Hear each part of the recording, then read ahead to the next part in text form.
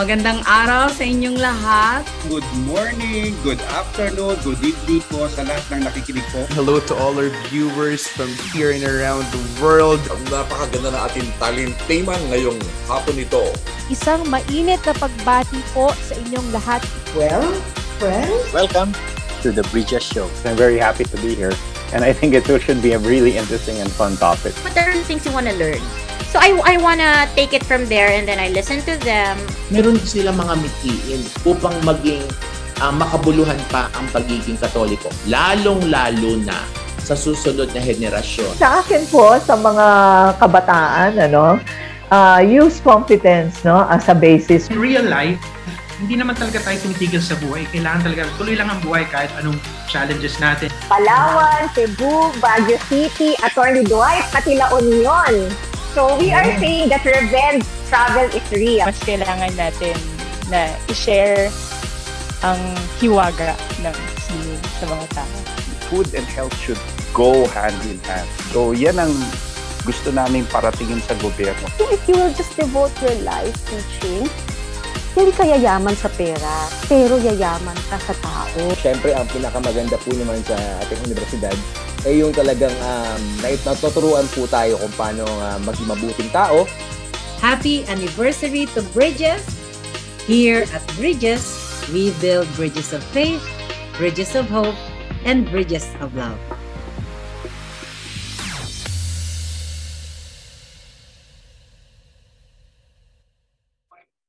Lisa Weed said, being a family means you are part of something very wonderful. It means you will be loved and first and basic institution of human society. But aside from that, and more importantly, it is the cradle of life and love. Human existence starts within the family and is nourished within its circle as well. It should be a place where we can be our most complete self, where we are accepted, appreciated, seen, and valued, even in moments of disagreements, challenges, and failures. Magandang hapon po sa inyong lahat. Welcome again to Bridges Season 3. I am Maria Teresa Casado Ramos, a faculty member of the UST Junior High School and a graduate of the UST College of Education. Bridges po is brought to you by the UST Alumni Association Incorporated and UST Communications Bureau. This is episode 5 of season 3, sponsored by the UST Junior High School Alumni Association. And my co-host this afternoon is Mr. Rohel Tapang, an alumnus of the UST Junior High School. Hello, po, sir. Hi, hi, hi, and good afternoon, Miss Tess. Yes, good I'm afternoon. so glad. Yes, I'm so glad to be with you in this episode of Bridges. No? Saya natin today. Same here, same here. Saya-saya po natin today. Oo nga. I'm Kamusta very po kayo? excited. I'm very excited to be here with you. And uh, as we continue in this love month of February, di ba? So February is the love month. Nako, malapit na matapos, no? Just a few more days, eh. Tapos na ang love month Oo natin. nga, ano po Of course, pala. we continue to February talk about 21 na. Oo, we continue to talk about love, syempre. And the past two episodes were about the topic affair- affairs of the heart and they were very relevant and inspiring and enlightening topics, especially ngayon ng love month, di ba? buwan ng mga puso. Tama po. And uh, but before we move on with the show, sir, uh, friends, yung mga naka-tune in sa atin sa FB Live natin, please don't forget to like and share our show and subscribe to our UST Tamashan Alumni Community YouTube channel. Oh, Yes. 'di ba? Live na live Well, po tayo ngayon. Correct. Live na live tayo. So sa lahat po, no? Uh, worldwide. So maganda magandang araw po sa Yes. lahat, no? Uh, well, Actually, ang bati po pala natin, good morning, good morning, good afternoon, good evening. no? Yes, sir. Go Hindi ahead. natin alam kung nasaan ang mga nakikinig, no? Opo. Uh, well, we focused last week on the work of our Correct. Totoo po yan. in our relationships and mental health. We know that mental health can have a significant impact on relationships. No? And speaking of relationships, the family is the first place where we learn about love and how to relate with one another in love, hindi ba? So alam naman natin, di ba, uh, the most um, successful and most uh, emotionally stable people are the ones who are coming from a very loving family, right? At marami din naman po mga naliligaw sa kanilang mga agree. And when we look back at their family life, nandun din, ako, uh, ano rin pala sila, naging victims din sila ng mga broken families, no? So sana ay uh, magkaroon. Or dysfunctional magkaroon families. Exactly, yes, exactly. Po. That's right, no? And uh, in this episode, uh, we will also be uh, teaching values to, we will learn how to teach values to our children to help them develop the grit and resilience when they are confronted with life's challenges. And po matututunan natin today.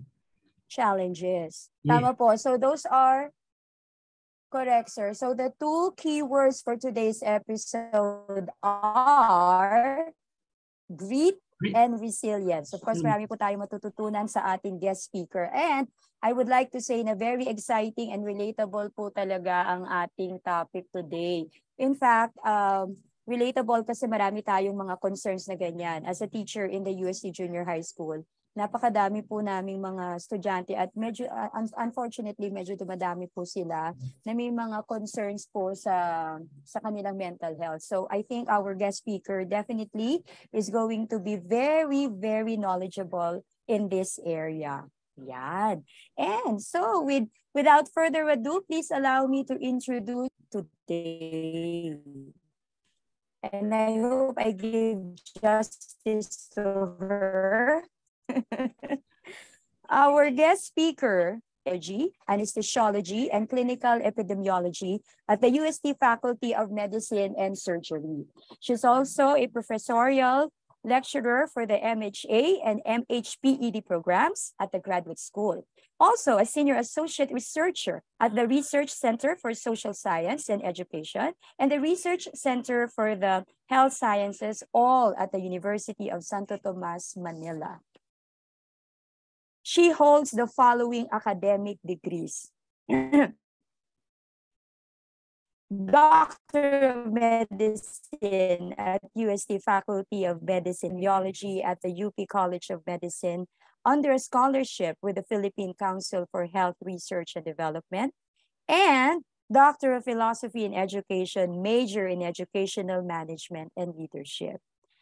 Our guest speaker is a three-term president of the Philippine Medical Association, the premier organization of Filipino physicians in the country. And she has held that post in 2014-2015, 2015-2016, and 2022-2023. So siya po pala ang current president, no? In 2012, look, there's more, sir. There's more. In 2012, she was awarded the most outstanding professional in medicine and bested 39 other outstanding professionals to win the first Eric Nubla Award for Excellence in the Professions by the Professional Regulation Commission. She was awarded the Dr. Quintin J. Gomez Award as Most Outstanding Anesthesiologist in 2014 and received the 26th Dr. Jose P. Rizal Memorial Award for the Academe from the Philippine Medical Association.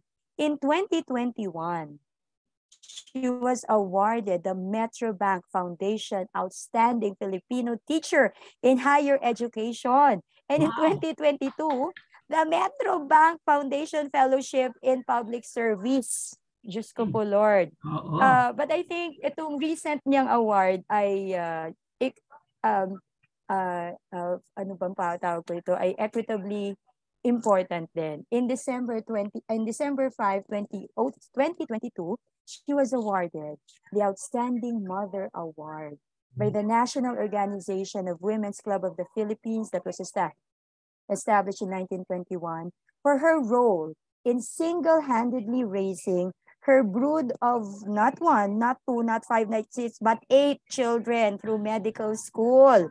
Seven of them are already full-fledged physicians. I think two of them were under my tutelage some, somehow. and one is a graduating medical student this year. Ladies and gentlemen, it is my pride and joy to welcome po to Bridges, Professor Maria Minerva Patawaran Kalimag, MD, MSc, PhD, FPSA, FPSECP. Diyos ko po. Wow! Grabe, doktora. Sa inyong lahat. Ibang klase po.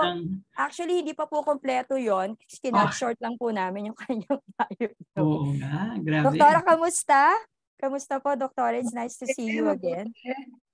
Opo. How would you want how would you want us to address you, Doc? Irvi? Parang hindi ako sanay. Doktora na lang po talaga tatawag. Doktora ko. Irvi. Doktora Irvi. Uh, welcome to Bridges. Nako, grabe. Yes. no? Uh, we are in the presence of a giant. Kumbaga, hindi ba? Opo, in the field Oo. of education and medicine combined. That's right. No? And um, being awarded the mother of best, ano ba yung December award niya, the latest, is um, Outstanding Mother. Grabe. So welcome to the show, Doc. Um, alam niyo, Doc, konting throwback lang tayo. Ha? Let me uh, ask you my first question. Ano po ba ang most memorable memory niyo as a high school student at the UST High School? Can I say, Come, let us sing for thee. UST High. Ayan, talagang ano, no, natatandaan ko yung UST High School hymn. Memorize ko pa po ang UST High School. All right. Yes po. And for the sake of information of everybody, Maraming ano, Opo, si Dr. Kalimag ay jubilarian ngayong taon because she graduated from UST High. School in 1973. Tama po ba ako? 1973. Opo. Yeah, 1973. And Doc, enough, you are... golden. Oo, Golden, opo, opo, golden. golden kayo, Golden jubilarian. So, taon po ni ma'am ngayon. Doc, you are indeed a royal-blooded Tomasian. Can you tell po everybody here that strong and solid values you have learned from UST and how it has helped you in your profession and most importantly, how it has helped you to successfully be the mother of eight health professionals, mostly doctors, syempre. Sige nga, Doc. Baka definitely marami kaming matututunan sa inyo ngayon. Um, alam nyo, ang ah, na, na ano natin dito sa UST talaga na kailangan malakas ang loob mo. No? Ah, yan, yung tinatawag nga natin na grit and resilience. Ah, later on, I will show pictures. No? Kasi at the time when ah, at least four of our kids were in medical school, ah, tawag ko, namatay si Doc in 2009. Oh. And uh, parang naging ano namin yan, ano, na we will lift each other up. Amen. And uh, so lahat ng mga bata rin, no, are all UST high school graduates, uh, elementary, high school. So tapos nag-college sila, some are in nursing, some were in uh, uh, medical technology. And then of course nag-medicine sila lahat. Eh, yun na nga, yung graduating, uh, yung medicine yung huli. Isang-isa na lang po ba yan, Doc?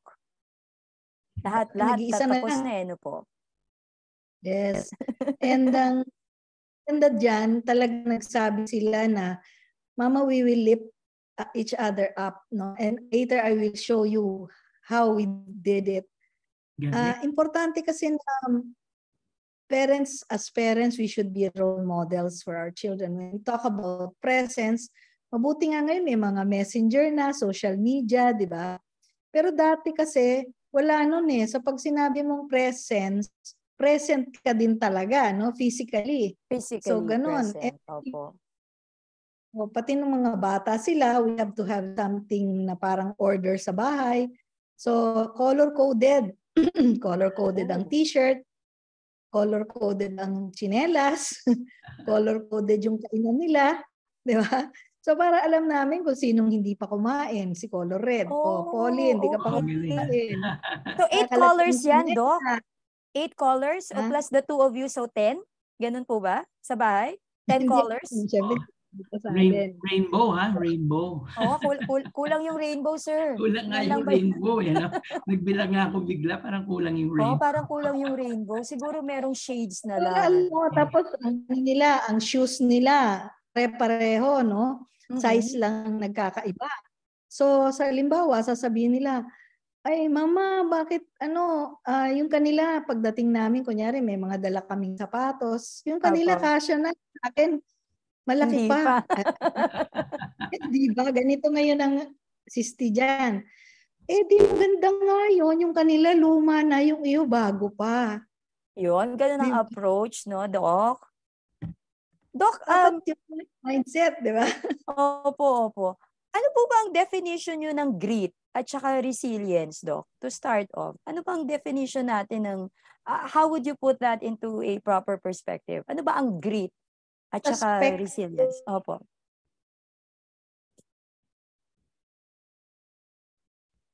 Ah, yes, Doc? May, may lag ng konti. Ah, may lag ng contest. Sige lang po. Sige lang po. Ilang pagka-grit talagang ano, yung ah, ah, kahit overwhelming yung challenges, no? So, eto ngayon gusto kong sabihin sa mga nakikinig sa atin, ano, yung atin pong ah, mental health na tinatawag natin para sa mga kabataan, meron po kasi talaga tayong problema ah, because of the Gen Z, no? Ah, baka sabihin nila, "Ah, bakit kami na separate, no? Or bakit may sinasabing generation? Kasi remember, ano tayo eh, ah, sama-sama tayo, di ba? Na we were cooped up, kunyari sa, ito, ganito, naka, nasa boxes tayo, no? During the pandemic, di ba? Opo, opo. And uh, Yes po. ah, ang realities nila, ang bahay, no, sa halip na makakalabas sila, sila makabas, yun ang naging stress nila. No? So, importante po na Oh. talagang make things less stressful for them. So, actually, nung pandemic, balik ang stress. Ako po ang may stress, no? Bakit ka mo? Nasa labas lahat yung mga bata, no? Di ba? Lahat sila exposed kasi nga frontliner sila lahat. So talagang importante rin na Opo. yung kapit natin sa Diyos. Di ba? So importante yung Kanina po na-mention nyo, uh, Doc, no, that uh, courage is very important. No? Mhm. Nagustuhan ko po yung, yung, um, yung line na yun, courage. No? Especially when we ask you ano ba yung natutunan yung most important value uh, here in UST. At ang nasabi nyo nga, it's really courage. No? Yung parang kumbaga facing uh, what is happening. No? Um, hindi naman necessarily wala kang fear. 'Di ba? Sabi nga nila, courage is not the absence of fear but rather the yung ability to to move forward even in the presence of fear, 'di ba? And Yes. um, w- w- how would you say ma-apply ng mga kabataan ngayon yan? What what should they be how should they be thinking? How should they be uh, facing yung kanilang mga realities po ngayon? Yes, yes. ang ang importante kasi habang bata pa lang sila eh, yun nga yung mindsetting na sinasabi ko kanina, no? Na alam nila na yun yung sabi ko sa kanila, anak, hindi tayo mayaman. Kailangan tayo magsumikap, di ba? Kailangan tayo na magsakripisyo. So lalo na nung namatay si Doc kasi nawalan kami ng source of income from one from the daddy, di ba? Opo, so opo. talagang sa- sa kanila, wag na tayo mag-aircon mga anak kasi yung masasave natin sa kuryente na ibabayad natin sa kuryente, pang matrikula yan ng isang semester ng isa sa inyo. Tapos we tell them Opo. about academic excellence, academic excellence, no? So, aral kayo. So, nag-aral talaga sila, tapos nag, nag-score sila. So, aside from yung, di ba, meron kami tuition, tuition, ano tayo, kasi faculty member kami. But then, Opo. uh, medicine, sa medicine kasi walang scholarship. Wala na, opo. Wala na nga. Kailangan sila mag-aral. So, they're academic scholars. Dahil academic scholars sila, mataas ang grade, magiging honor students din. So, so uh, alam mo yung self-fulfilling prophecy na how you act actually, di, ano, di ba? Yun yung pinagbabasihan kung paano din nagre-react yung ibang tao sa inyo. So, so yun. Nabibuild yung kanilang, uh, yun nga, resilience and grit, no? Opo. uh, isa sa mga challenges po no ng being a parent nowadays is really yung bang um, yung mismong parent mismo minsan sila mismo nakukulangan ng ng values, ng direction, no, ng morals, hindi ba? Kasi we say, di ba, nasabi nyo kanina, it is best to live by example, hindi ba? So, pero minsan kahit yung parent eh kulang sa example talaga, no? So, paano kaya ano kaya pwede nating um, maging advice sa mga parents who themselves are also confused, lost, na, or lacking in grit and resilience oo, po ba? Yun, kasi di ba ang hirap na maituro sa mga anak kung sila mismo parang ay wala. Also need, di ba? Kailangan din nila. Opo. How, how can we help those? Alam niyo po, uh, yan kasi eh, ano eh, uh, internal, internal kasi yan, no?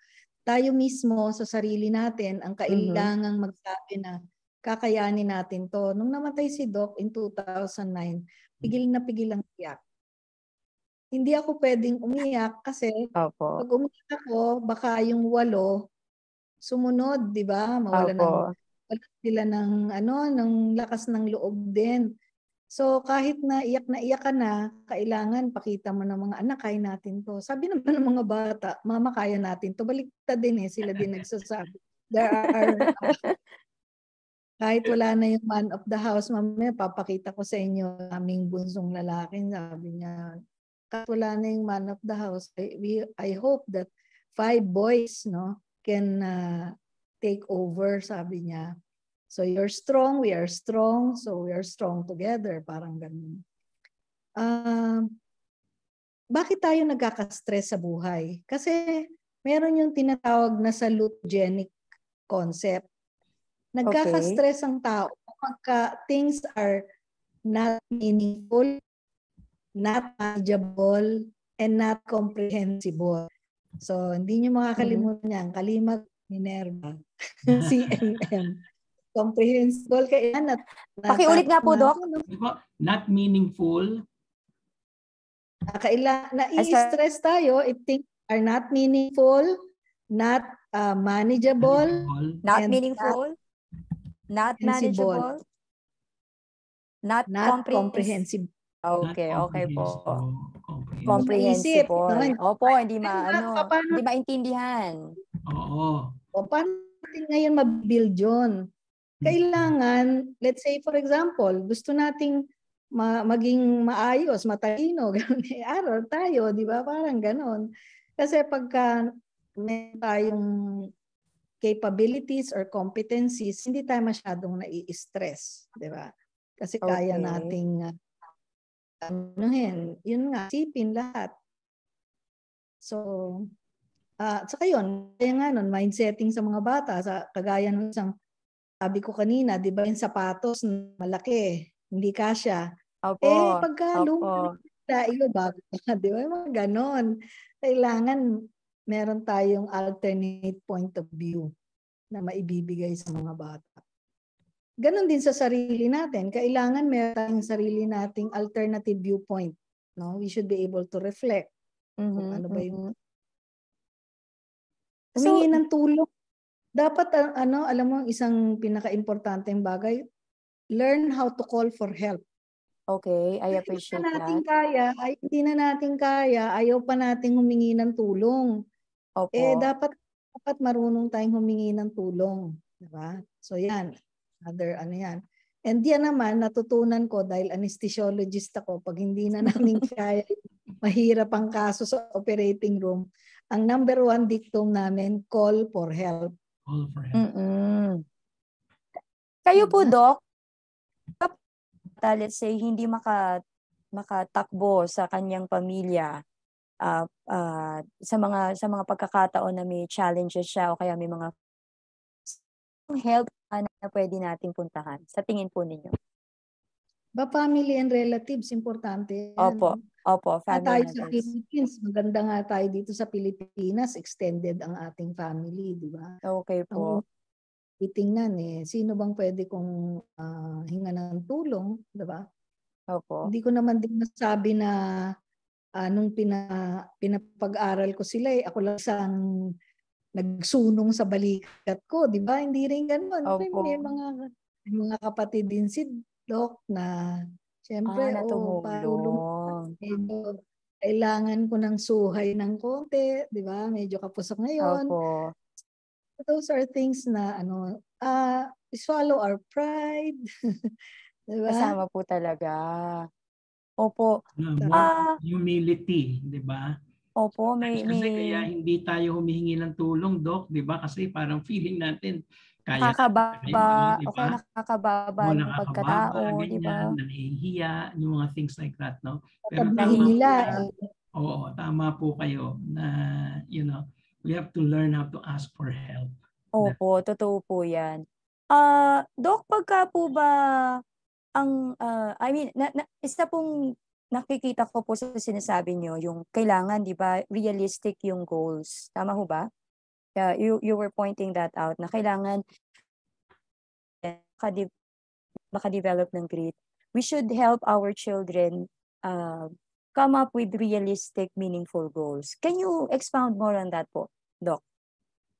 Ah, actually, ah, halimbawa, hindi naman din kunyari ah expectin na pare-pareho ang kanilang ah, Achievements. Opo. or achievements, 'di ba? Pero pagdating sa leadership, ano rin sila, talagang nag-unahan, ano? So, Mm. nag-aanuhan sila, nagtutulungan, no? O gusto kong maging ganyan. So, na-achieve nila yung goals nilang ganun, no? So, so yan. Kahit sa nung nasa high school sila, no?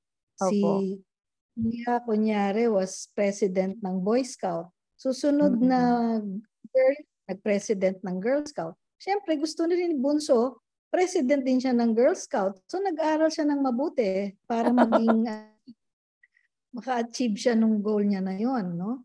So up to now, Oh. ah, mga leader sila, president ng ganito, interns club, president ng ng ano, ng residence, chief residence sa specializations. So, ano sila? Ah, ganun sila. So, parang achiever po. No? Opo. yun, ah, isa, ah, the- ano of excellence, yung Yes, value of yes. Opo, opo. I see.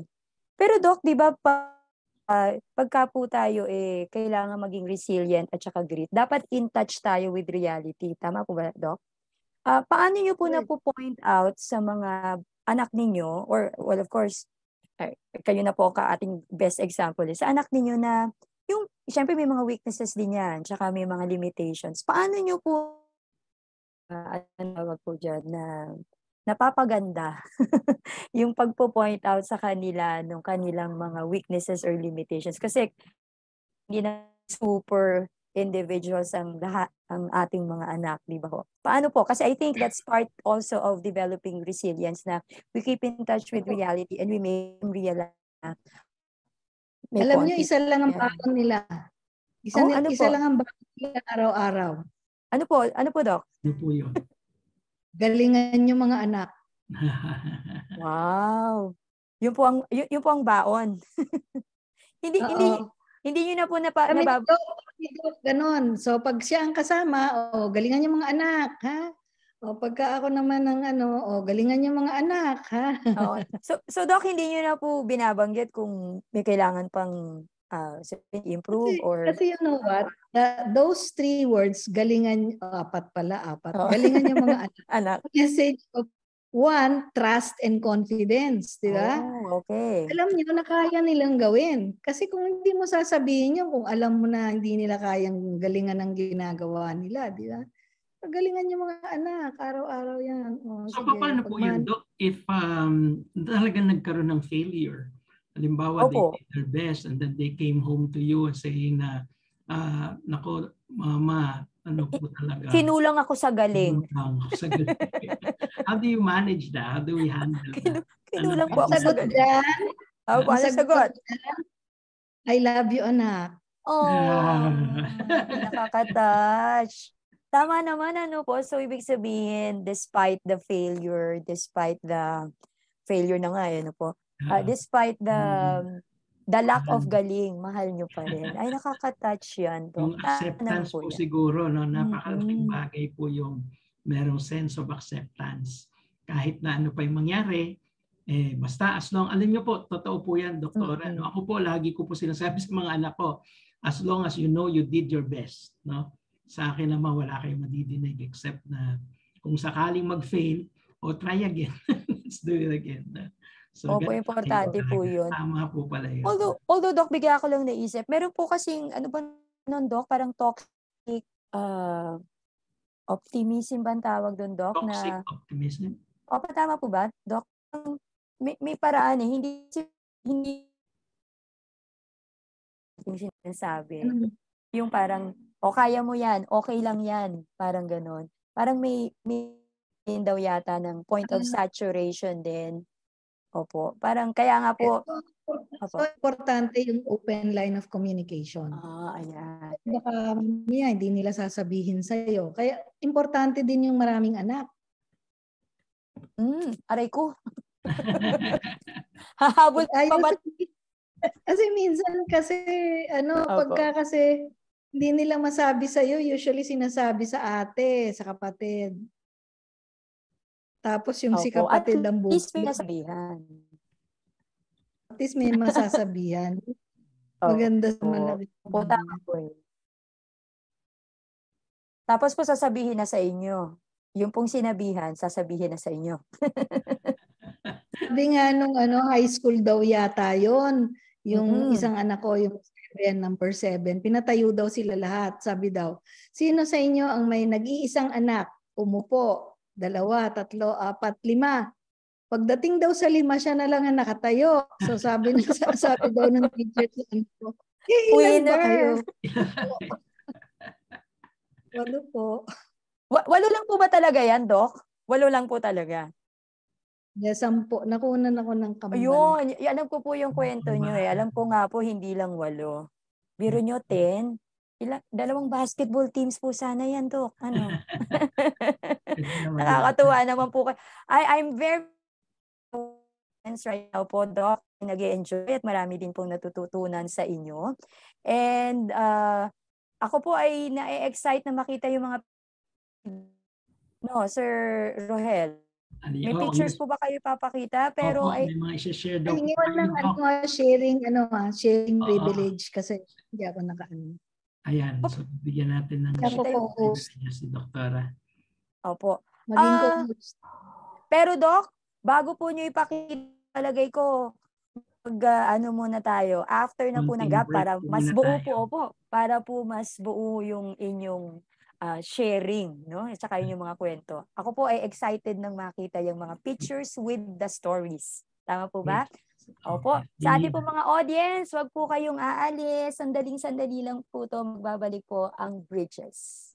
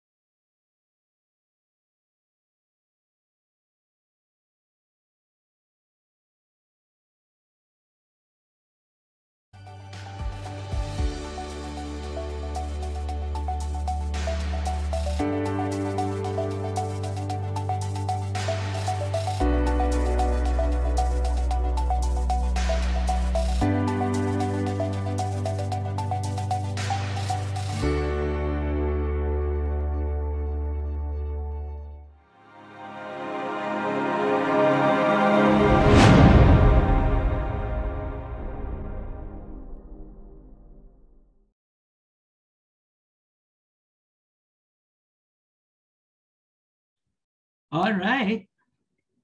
Tayo po yung nagbabalik na. At tayo po yung nagbabalik na. We're so back. Yes, we're Doc, back. eto na. Palagay ko kanina pa po nyo kinukwento na marami po kayong pictures na papakita. Yes. Together with the stories. Palagay ko eh, eto na. more stories, more lessons po from uh, our guest speaker today. Doc, the floor is yours.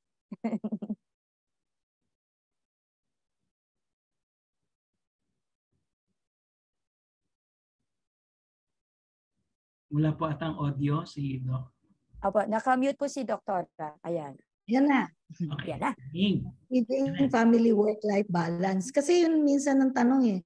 nagwo-work ka na, clinical practice ka, nagtuturo ka, nag-organization, leader ka. Paano mo ba ginagawa yan? So, ito po ang aming pamantayan, itong one, Psalm 127, 128. Except the Lord build the house, lay in vain that build it. Except the Lord keep the city, the watchman wake but in vain. It is vain for you to rise up early to sit up late, to eat the bread of sorrows, for so give, he giveth his beloved sleep. We were part of Couples for Christ early on. Uh, third na pagbubuntis pa lang, uh, member na kami ng Couples for Christ. And then of course, Lo, children are heritage from the Lord and the fruit of His womb is reward. Kaya dumami po yung anak namin kasi naiipon po kami ng arrows. As arrows are in the hand of the mighty man, so are children of the youth. Happy is the man whose quiver is full of them. He shall not be empty-handed when he speaks with the enemies at the gate. So eventually, we ended up having eight children. Ayun ang mga batang maliliit pa sila, makukulit, no? Color-coded ang mga gamit. and then, they started growing up, di ba? And then, God's gift to us, of course, is our family, no? May not be perfect, but that is it, eh? You have to uh, work with, with that, no? Whatever is given to us. And in spite of all the accolades that come my way, however, We inspired them to focus and excel in their studies and in their chosen fields of specialization. So mahilig sila sa Mighty Ducks, no? So uh, now we have an endocrinologist sa America and then we have a laparoscopic surgeon, plastic surgeon, an interventional cardiologist, a pathologist, orthopedic resident, anesthesia resident, and a medical student. So The Kalimags fly together, soaring high. So yan ang aming uh, tagline. The good thing with flying, no one can do it for you. You have to do it yourself. But surely just like the mighty ducks, you can be the wind beneath each other's wings.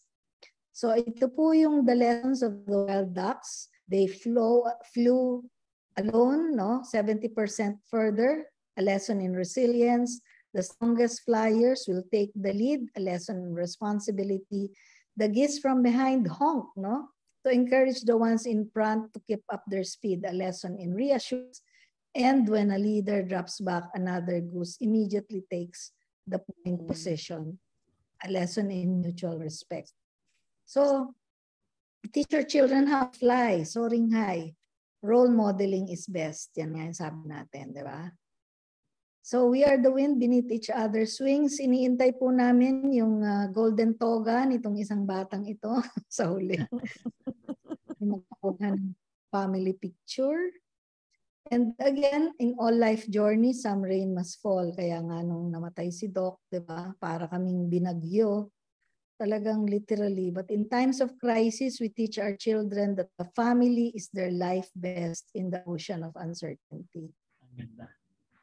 Ito yung eulogy ni dad nung panganay naming lalaki, no? My dad came from a modest family and he knows the value of work. He would try to instill in us the value of work by making us work. Learn by doing. Every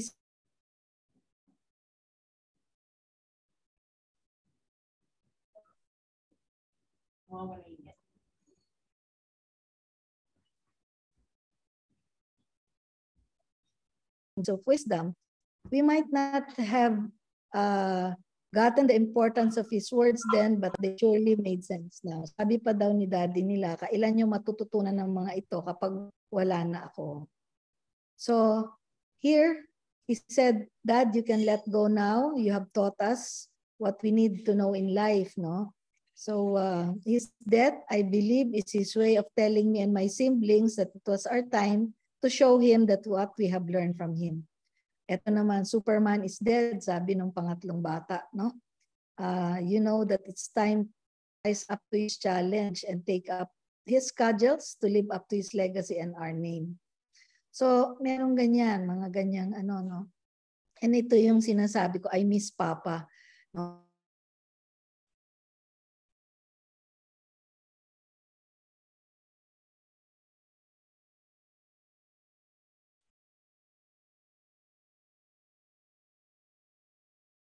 So ano yan? Teach them the value of being body, no? So kung hindi sila makapagsalita sa inyo, at least mag-usap silang dalawa, no? Yan. The value of presence. The value of fair play. So naglala, nagpe-play pa sila ng football, no? so teach them the value of family celebrations. Yan, no? Blessed is everyone that feared the Lord, that walked in his ways. Thy wife shall be a fruitful vine by the sides of thine house, thy children like olive plants seated around thy table. So yan, to them, June and I will leave a legacy of lifelong learning in the professions, of professionalism in practice, wisdom in leadership, a bosom full of loyal family, friends, and colleagues, and a name brand that speaks of quality and excellence. So yan po. Lahat sila frontliner during the COVID pandemic. Okay. So we were given the total award for Family. myself. Family total na po. Tama po ba? Yes po. Yes. So yan. Thank you. All right. Maraming Ah, pin- pinipigil, pinipigilan ko po, Doc, ang, ang pagluha po sa inyong mga pinakita. Pero pag tumulo po, pasensya na. Ang ganda po, uh, Doc. Talaga Very pong damang, inspiring. mm damang-dama ko po na ang inyong pamilya, lalo na po ang inyong mga anak, ay talagang blessings po sa inyo. Tama ho ba, Doc? Ah, opo, i-recap. Oo po, naiiyak. I I recall doc nung ano po ba yung napan, ano po ba yung award niyo that time? I think uh, kakaka ah, an- ano ba yung proper term doon? Ayoko po nung kamamatay eh. Kakalisan lang po ni doc. Tapos eh ang suot niyo yung suot niyo pa ho nga noon eh parang gown na itim. If I'm not mistaken. May award si doc noon eh. Tapos na, na ano siya. eh, Posthumous award. ako. Ito sa posthumous Opo, award opo, opo. for Talaga- leadership. Kasi Opo, opo. siya na yung president ng International College of Surgeons Philippine Section at that time. Sabay kami Mm. dapat. So, ako naman president ng Philippine Society of Anesthesiologists. So, nung Mm-mm. time na yun, pareho kami, naka, nakaitim kami lahat, pati yung mga bata. Opo, opo. So, ah believe po ako dun sa tapang na pinakita nyo. Pigil na pigil po yung luha nyo, pero bum... Dahil hindi po mapigil yung ano, hindi po mapigil yung lungkot. But at the same time, the pride is there. No, tama po ba, Doc? Tsaka nung Opo. time na yun, yun yung ano eh, dissertation ko sa PhD. Kung Oh. mawawalan ako lakas ng loob, hindi ko maip, hindi ko siya matatapos. Yun yung may So, tatawid. So, dapat Opo. talaga kapit lang, kapit. Yan po talaga yung ano, no po, yung ah, pagkapit. Doon po sa pinakita nyo, Doc, ah, um, ano po bang tawag nito? Napaka ganda po nung ah, Mighty Ducks na mentality. Paki-stress nga po natin ulit yun, Doc. Mighty Ducks kasi ano eh, ah, yung wind na kinikreate nung nasa harap provides the lift for those at the back. So they those at the back will fly ah, 70% less effort. So ganun yon. So sama-sama sila. That's the reason why they fly in B formation. So tapos Mm-mm. yun nga yung mga instances na they honk, no, parang go go go parang ganon, di ba? Tapos yung basta ano, everything for the for the family talaga.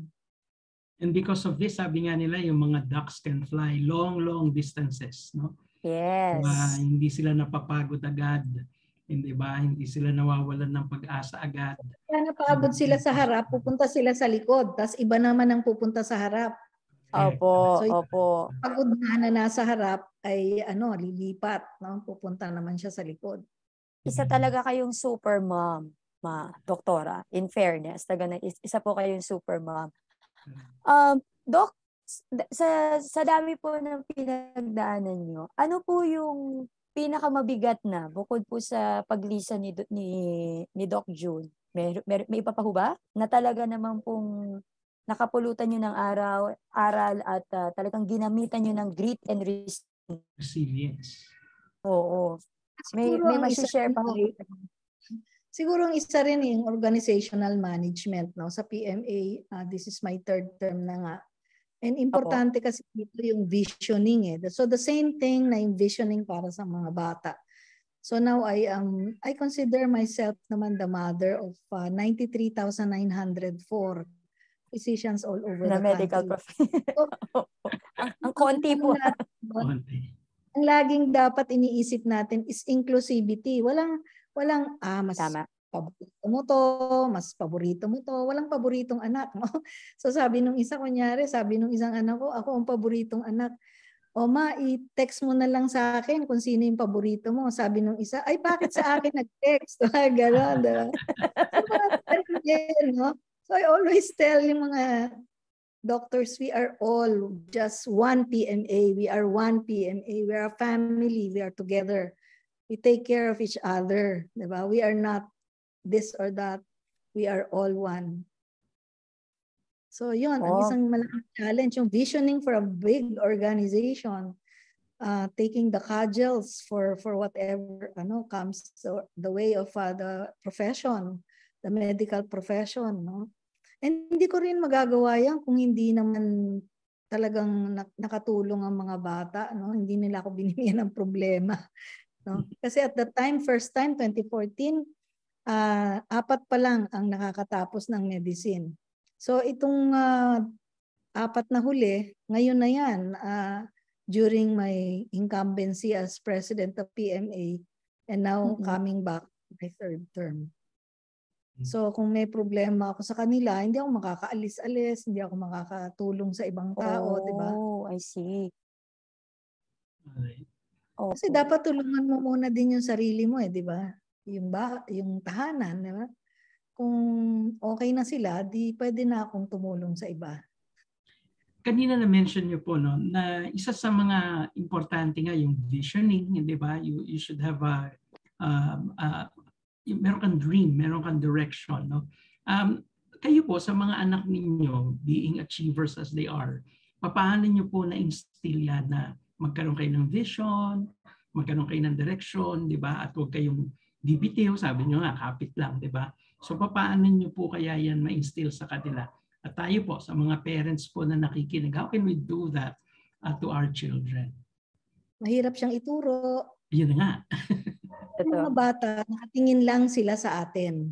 Yes. So kaya nga yung sabi ko, kailangan tayo muna ang makitaan nila ng ano, 'di ba? Na at ng loob, na gano'n.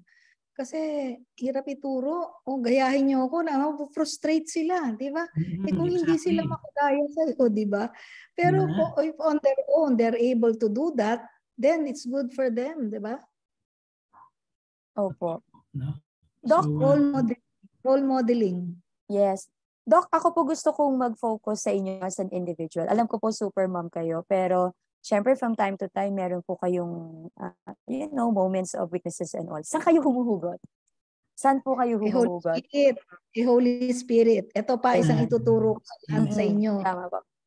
Holy Spirit, enlighten me. Holy Spirit, fortify me or strengthen me. Holy Spirit, embrace me and console me. Alam nyo, nababagabag kayo, hindi kayo makatulog sa gabi. Holy Spirit, embrace me and console me. Before you know it, tulog ka na. Pagising mo sa umaga, uy, may dumating na ano, bonus. Wow, may blessing. may regalo, may regalo si Lord. so, Oh. so gano'n. Ano kasi, sayang, ano, sayang yung effort na ma-stress ka, kakab kakabugan dibdib mo. Well, ano mo naman, di ba, ang promise niya sa Psalm 127, For the Lord gives to His beloved even while they sleep. So, tulog ka lang. At kung hindi ka Amen. makatulog, yun, embrace me and console me sa Holy Spirit. A very effective prayer. Ga- grabe, wala. Talagang ano, He is the hope. Di ba? Opo. So, hindi love, faith, hope, and love. Amen. Faith, Eto, Doc. Oo, ang ganda. Ang ganda po na inyong sinabi. Eto, curious lang ako, Doc. Sa dami po ng ginagawa nyo, for sure naman, meron kayong time para sa sarili nyo. Ano? Ano po ang inyong ah, me time? Sa totoo Ano lang. no? Me time. Kasi ako importante yun eh, di ba? Para maging resilient ka, parang may change of atmosphere. Meron ho ba kayong libangan bukod sa pag-attend ng inyong mga leadership leadership uh, duties, kumbaga? Anong libangan nyo, Dok? Baka po makatulong yan sa ano, pagde-develop ng grit and resilience din. Basta gusto mo magpunta sa parlor, punta ka sa parlor. Gusto mong magliwaliw, uh, go. Di ba? Uh, gusto mo manood ng telenovela, pwede din. I'm sure marami dyan, adik-adik lang sa Korean novela, di ba? Ah, kayo so, po, kasama po kayo doon. kasama ko doon, adik-adik lang. Opo. Nagaano ba kayo? May mga physical po kayong activities do? Mga ganyan? May mga ganun din po ba? To, to do dance, to dance, no? Para bang pag nakakarinig ako ng music, eh, talagang gusto kong sumayaw. ah, dancer pala si Doktor. O, oh, revelation oh, yan, Sir Huwag Rogel. kakantahin kasi UST him. At saka So, yun. PNA him. Oo. Pasayawin na lang daw natin si Doc. Yun. Pasayawin na lang. Wag na daw siyang pakantahin. Tama ho ba, Doc? TikTok tayo, TikTok. Pero, Ay, naku, wala akong TikTok account. Si Doc ba meron? Ang ganda po, ang ganda po na yun yung sinabi. Um, opo, opo talaga. So, kailangan din po talaga na may oras tayo para sa sarili natin. Tapos, uh, napakaganda po nung sinabi niyo po tungkol dun sa pagkapit kay Lord, lalo na po dun sa Holy Spirit. Um, ano pa ba, Sir Rohel, ang inyong na-pick up Dadagdag- mula po dun sa presentation Dadagdag pa si Doc. Sige, go ahead, Doc. Ma'am, eh, ni Doktora. Oh, sige, Yes, Doc. Go, go. Itato- idadagdag ako. Pasko, alam niyo mga bata, iba-iba din ang ano eh, di ba? Meron yung laging naka, ano, nakaagad, naka-prepare, ganyan. Siyempre, hindi mo maiwasan yun kasi mga surgeon sila, everything should be prepared. Ang anesthesiologist kasi, pag may problema, kailangan maka, ano, kagad kami, maka, ah, maka, ah, ano ng solusyon. So magkaiba, no? So Mhm. sabi niya, sabi ng isang anak ko, Mama, ano mang gagawin mo sa Pasko? Sabi ko, pupunta ako sa Korea. Sabi, sabi ng anak ko, pupunta ka sa Korea? Oo, under the Queen's umbrella. Sabi ng anak ko, ano ka ba, Mama? Seryoso ang tinatanong ko. Anong gagawin mo sa Pasko? Aba, eh, napakadami nyo. Eh, kahit kanino pwede akong sumama. Di ba? Sabi ko, mamimili ako. Napupunta. So, yun. Nagulat sila kasi papunta akong Korea. Ay, Doc, currently ba, lahat ng mga anak niyo nasa inyo pa? Ay, hindi na. Kanya-kanya sila. Independence. Ah, kanya-kanya na. Kanya-kanya na pala. May apo na ba kayo, Doc? Wala ba? Tatlo. Tatlong. Ah, may tatlo. Tatlong na. apo. Ah, I see. Ayun naman pala eh. So, meron ng kinagigiliwan si Doktora. Oo. May tatlo na siyang apo. Ah, ang nasa inyo na lang ho, sino na lang ho ang kasama ninyo? Kasama niya. Minsan si Bunso, ah, kasi Okay. nag-aaral pa. Pero minsan ano na rin kasi laging duty eh. So Hmm. nakiki-duty ako sa kanila. I Nang see. nakiki-duty eh. no? Ang ganda, ang ganda po ng ating talakayan ngayon. Meron ba Okay. tayong mga tanong pa mula sa ating mga viewers, Sir Rohel? Yes, um, wala pa ako nakita na posted questions. Oh, pero mukhang mukhang malinaw kasi lahat eh. No? yes, yes. Puro ano, Opo. puro, uh, Pero may- applauding you're becoming a super mom. Yes po. And there's actually a an accolade here, Doc, coming from Rowena Santiago Villarama. Ang sabi po niya, this is a very timely topic from mom, mom and a per worth emulating. Yes. Ay. Doc. Totoo Worth naman. emulating daw po kayo at yung topic po natin i-discuss ay worth, uh, ay, ay very timely. Ayan. Meron naman po ito. Opo, basahin lang natin, Sir Rogelio, yung kanina pa po natin binabanggit na super mom si Doc. Yes. Pero meron pong talaga nagsabi from our viewer, oo, galing po siya kay Fernando Pedrosa. Ang sabi po niya, Doc, si Doktora Minerva P. Kalimag, buo yung pangalan niyo, Doc, ha, ay tunay na super mom and at the same time a woman and compassion for others. That's Ah, Doc, ha? Opo. Sige nga, Sir Oh, Rohel, sabi baka niya na naman, po. no, ni, uh, oh, Sir Lito Malabanan. No? A new learning, mighty duck. Great job, Dr. Kalimag. Kudos to USTHS batch 1973. Oh, Di ba po? So, congrats po. No? Kaklase niyo po ba to, Doc? Congratulations. Kaklase niyo po ba si Sir Lito Manabanan? Hindi Sir. Lito? Ako. Opo. Uh, I think uh, hindi sila magkabatch. Opo, mukha naman. Sorry po, Sir Lito. I, I did not mean anything. I did not mean to slight you. Ah, eto pa po. Ayan, ayan. Meron pa po isang affirmation dito. Again, from Sir Fernando Pedrosa. Very true indeed. Children see their parents as role models, especially in their values formation. And as it is, uh, as it is said, children live what they see. Totoo po yun. Totoo po yan. Talagang And, uh, have to live by example talaga. Correct. And I see I think Sir Rohel and I would definitely be one with you in affirming that. Kapag ka magulang ka, no, kailangan good examples most of the time. Minsan pagka meron kang maling na ipakita, nagso-sorry tayo agad kasi na, nak, hindi yun. hindi yun yung tamang behavior. Parang gano'n, no, ipinaproseso natin agad. Pero napakaganda po nung ah, ah, napakaganda po nung dictum na yon. Children live what they see. Meron pa ho ba? Tingnan po Kumbaga natin. sa, kumbaga sa atin sa teaching, di ba, the hidden curriculum. The hidden curriculum. Oo nga. No? Sa, tama kayo eh, ah, doktora. Ma- mahirap ituro, no? Minsan mahirap ituro. Opo. But uh, you just have to keep trying, no? And uh, siguro Tama. patience din talaga, eh, no? Patience is very important. Mga bata sila, hindi pa ako makapagkwento.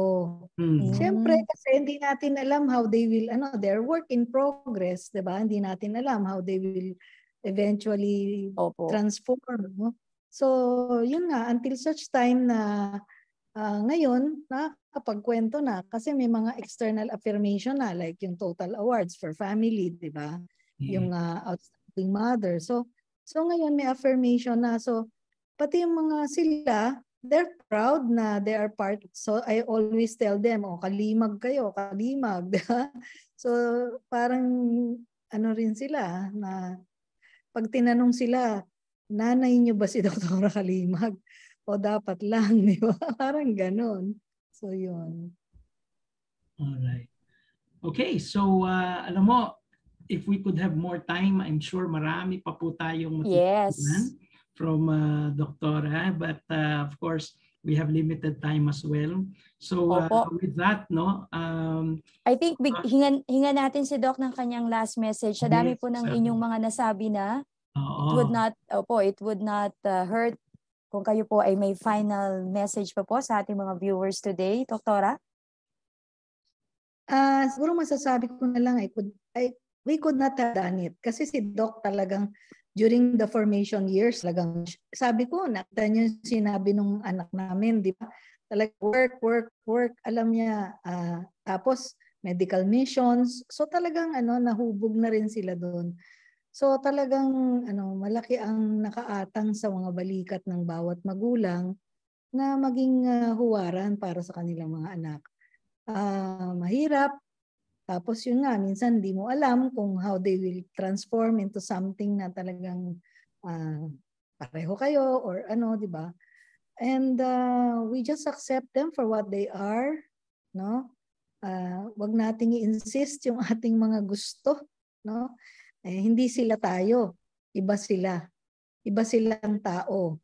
And ah, they they will eventually become what they hope to be. Ganda. Thank you so much. Ganda, thank you. Napakaganda Oh, po sir- ng message nyo. no? Opo. So, uh, Accept our tao sila. children. Accept, yun nga eh. Yun, habang nakikinig ako, yun, true acceptance of our children. Di ba? Iba sila sa Mm, ating Sila sa atin. mga magulang. O ikaw naman po tatanungin ko, Sir Rohel, ano po ang napakagandang takeaways nyo sa ating Alam mo- episode Alam ngayon? mo, ang dami, no? And I was taking Oo. notes. Una-una, I'd like to thank you, Doktora, no? Uh, I've learned so much, no? At uh, ako po personally, I have three children. And uh, most of them are already teenager na po yung dalawa. Yung isa may asawa na. No? Oh. And um, it, it is really a challenge, no? So, di ba, Ma'am Tess, talagang as a parent, it's very challenging Totoo po yan. nowadays. Pero napaka-inspiring and motivating po ninyo, Doktora, because I, I realize now during our uh, discussion no, na talagang courage is very important. No? Not only for our children, but also for us, tayo mga parents. No? We just have to mo- keep moving forward and trusting in the Holy Spirit. Sabi nyo nga po, no? totoo po yan. Trusting in the Lord na lahat naman po talaga ng bagay ay ma- magiging maayos. Hindi ba? And just leave it unto Him, right? So yan po totoo, Pina, pinaninindigan ko din yung belief na yan. And I hope no, na I'll be able to share this to my children as well. Kasi yan din naman ang talagang values ko din. No? How about you, Ma'am Tess? Amen. Amen to that. Opo, ako po, tumatak po sa akin yung sources ng stress. Kasi para sa mga, para po maturuan natin yung mga bata mag-develop ng grit and resilience, kailangan matutunan din nila yung um, na ang mga bagay ay dapat meaningful, manageable, and cro- comprehensible. Opo. Ah, Minerva, ano pong ano po? Ano pong citation, doktora? Kalima? Hindi, eh, hindi akin yun. Kay Aaron Akala ko sa, sorry po, akala ko po sa inyo yun eh. Photogenic concept. Sinabi ko lang na Yes. hindi ko Opo. makakalimutan kasi initials ng pangalan ko, MMC. Opo. Pero, Yes po. Aaron Antonovsky po yun. Nagalit sa akin si yung philosopher na nag-propose sa Opo. Opo. Pero uh, well, kidding aside, napakaganda po ng tatlong tatlong bagay na 'yon kasi matututunan po ng mga bata na less ang stress at mas mas titibay po ang ang kanilang loob pag alam nila na may kahulugan, kabuluhan at naiintindihan nila kung ano yung pinagdadaanan nila. At kagaya po ng nasabi nyo, tayo po mga magulang ay tao lang pero forward lang po, forward thinking, proper mindset, para po tayo ay maging sa, sa, kabila po ng ating mga limitasyon at saka kahinaan. Tayo pa rin po ay grabe Tagalog po to ha. Tayo po ay uh, they would look up to us. I'm so sorry. They would still look up to us, no? Despite our weaknesses or limitations. Yan, as a parent. So, Doc, maraming, maraming, maraming, maraming salamat po for joining us today. Di ba, no, Sir, Sir Rohel? Oo, truly much appreciated po. No? Wala po akong masabi. Opo. Ah, and, and mind you po, ah, dear viewers, wala pong script ito. Lahat po ay spontaneous uh, batuhan lang po ng oo, ng question and answer na po talaga. Opo. Ah, hindi po prepared si Doc doon sa mga pictures, hindi po siya prepared doon, promise. Yun po ay talagang mga personal lang po niya siguro ng collection. Kaganda. Kinukulit ko pa nga kanina eh, nung tumawag. O, di ba po? Ulit, Doc, wag po kayo magsasawa na Opo. wag po kayong magsasawa to join us Join again. us. Palagay ko marami Opo, marami pa po tayong topics na pwedeng pag-usapan. Di ba po? Alright. So, Yes, Sir. Roger. Uh, ay, Sir Rohel, sorry po. Before we end, no, Doc, we have a few announcements lang po. Okay lang po ba? Opo. Uh, pero doktora, hindi pa po to yung last. Again, uh, hands, hats off po sa isang super mom na educator na uh, medical professional pa. Uh, ano lang po, a few announcements po. The UST daw po, Thomasian Alumni Leaders Association or UST TALA is inviting all Thomasian alumni who are former student leaders and organization officers or members to join this year's much-awaited learning and networking event. TALA Igniting Knowledge Leaders, Empowering Leaders Talk Series 2023. So palagay ko yung mga anak ni Doc lahat dito sa category na to eh, dahil lahat po sila ay student leaders. This event is on February 23, 2023, Thursday at 3 p.m. Bukas na ho pala ito. At the, ay hindi, bukas na ba? Thursday. Ay hindi pa pala, sa Thursday. Oo, Tuesday. Sa Thursday pa. At the Blessed George along Espanya Boulevard in front of the UST campus lang po ito.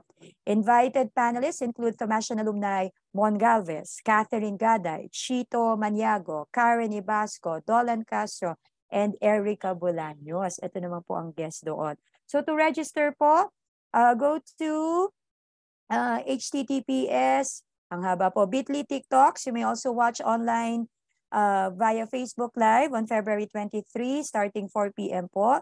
And you may go also to the following FB pages, yung pong UST Tala Official, sa FB po ito, at saka po yung UST AAI Official FB page. Alright, and, And- everyone, no, oh, wag po nating kakalimutan to like, share, and subscribe to our UST AAI TAC YouTube channel, no? So sa youtube.com po, punta lang po kayo sa UST AAI TAC and please Yes. follow us on Facebook sa UST AAI. All right?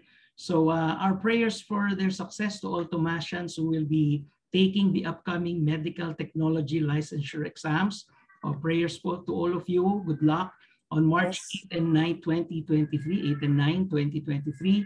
Blessing prayers also to those taking the pharmacy licensure examination on April 10 and 11, 2023. Uh, deadline for submission of application is on March 13, 2023. So sa lahat po ng mga mag-exam dyan, eh, prayers to you, blessings to you. Sana po maging uh, successful po tayo. Diba? All right. Okay, so um, on behalf of the Opo, kaya-kaya nila yan. Oo, Junior Opo, High School blessing. Alumni Association through its president, Sir Opo. Tony Gomez, no?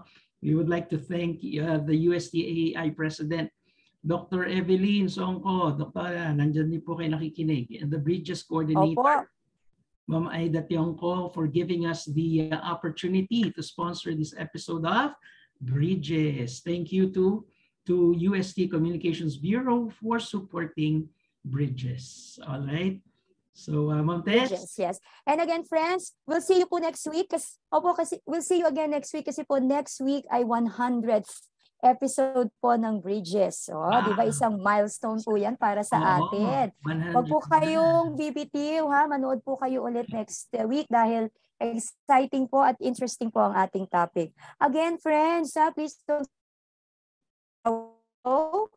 and subscribe to our UST Thamashan Alumni Community YouTube channel because here at Bridges, we build bridges of people, people. bridges of knowledge, and new learnings. All right. So, Opo. friends, Friends, thank you po for tuning in. thank you. Again, thank you very much po, Doktora.